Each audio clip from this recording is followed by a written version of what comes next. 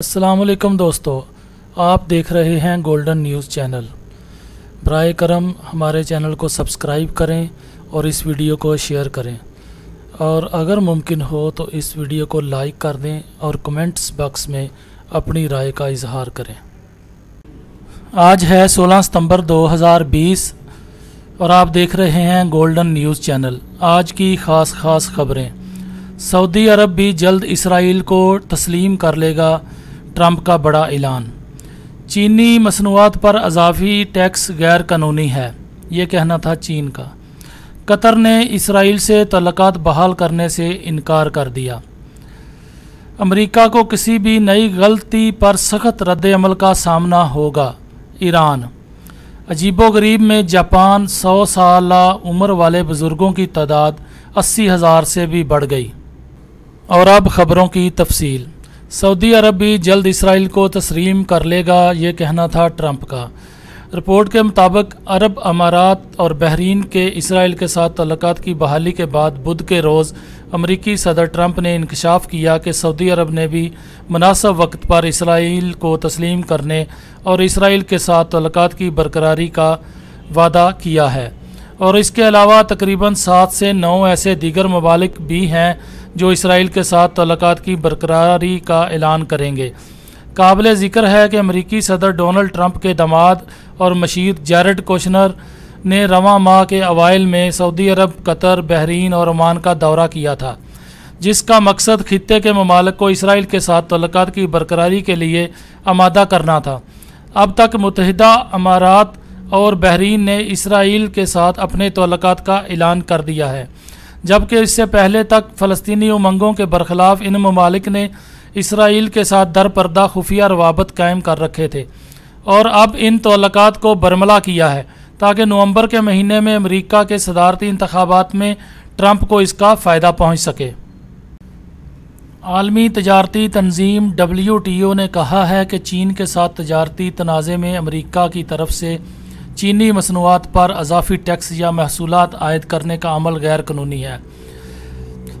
आलमी तजारती तंजीम का कहना है कि अमरीका ने साल 2018 में चीन की मसनूआत पर 200 अरब डॉलर के हजम का इजाफी टैक्स आयद किया था, जो आलमी तजारती कवानीन की खिलाफ वर्जी है। डब्ल्यू टी ओ ने मज़ीद कहा कि वाशिंगटन ने मुनासब तौर पर इसकी वजाहत नहीं की कि उसने चीन से दरामद होने वाली बाज़ मसनूआत को मुल्क में दाखिल होने से क्यों रोक दिया? दूसरी जानब, अमरीका ने यह मौक़ अपनाया था कि वाशिंगटन हुकूमत ने चीनी मसनूआत पर पाबंदी की वजह यह बताई थी कि मसनूआत चीन के इलाके सिंगकियांग में जबरी मशक्क़त के ज़रिए तैयार की गई हैं और यह कि चीन का ये इकदाम ग़ुलामी की जदीद शक्ल में आता है। और अब हम बात करेंगे कतर की। कतर ने इसराइल से तल्लक बहाल करने से इनकार कर दिया। तर्जमान वजारत खारजा ने एक इंटरव्यू में कहा है कि कतर दीगर खलीजी अरब रियासतों की तरह इसराइल से सफारती तल्लक इस्तवार नहीं करेगा। उन्होंने कहा कि हम नहीं समझते कि इसराइल फ़लस्तनी तनाज़े का बुनियादी सबब तल्लक को नॉर्मल करना है। लिहाजा मसले के हल का जवाब तल्लक कायम करना नहीं हो सकता। तर्जमान ने कहा कि तनाज़े की असल वजह फ़लस्तियों के सख्त हालात हैं। जो कि बग़ैर मुल्क के रह रहे हैं, जो कि जेर कब्ज़ा ज़िंदगी गुजार रहे हैं। कतर की जानब से ये बयान अमरीकी सदर की सरबराही में अमारात, बहरीन और इसराइल के मबैन सफारती तल्क बहाल करने से मतलब माहदे पर दस्तखत की तकरीब से कबल सामने आया है। और अब हम बात करेंगे ईरान की। ईरान ने अमरीका को किसी भी नई गलती पर सख्त रद्द अमल का सामना करने का नोटिस दे दिया। ईरान ने अमरीकी सदर के बयान पर रद्दमल में कहा है कि अमरीका कोई नई गलती ना करे, वरना उसे ईरान के फैसला कन रद्दमल का सामना होगा।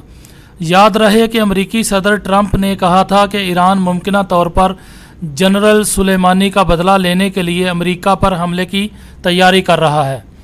ईरान ने ऐसा किया तो हज़ार गुना ज़्यादा ताकत से जवाब देंगे। ये बात ईरानी हुकूमत के तर्जमान अली रबई ने एक प्रेस कॉन्फ्रेंस में कही। एक अमरीकी मैगज़ीन ने दावा किया है कि ईरान जनरल कासम सुलेमानी का बदला लेने के लिए अमरीकी सफ़ीर को कत्ल करना चाहता है। तफसीलात के मुताबिक अमरीकी मैगज़ीन पोलीटिको ने दावा किया है कि ईरान अपने मकतूल जनरल कासम सुलेमानी का बदला लेने के लिए जनूबी अफ्रीका में अमरीकी सफ़ीर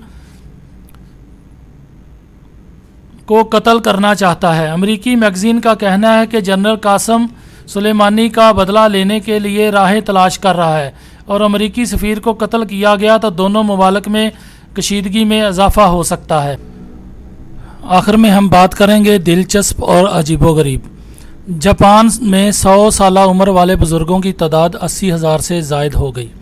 जापानी न्यूज़ एजेंसी ने हेल्थ, लेबर एंड वेलफेयर के जारी करदा अदाद शुमार का हवाला देते हुए बताया कि गुजशत साल के मुकाबले में रवा साल बुज़ुर्ग अफराद की तादाद में नौ हज़ार एक सौ छिहत्तर का इजाफ़ा हुआ है, जिसके बाद जापान में बुज़ुर्ग अफराद की तादाद अस्सी हज़ार चार सौ पचास से तजावज़ कर गई।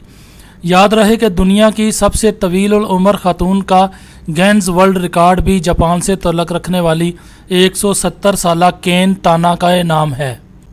गोल्डन न्यूज़ चैनल देखने के लिए शुक्रिया।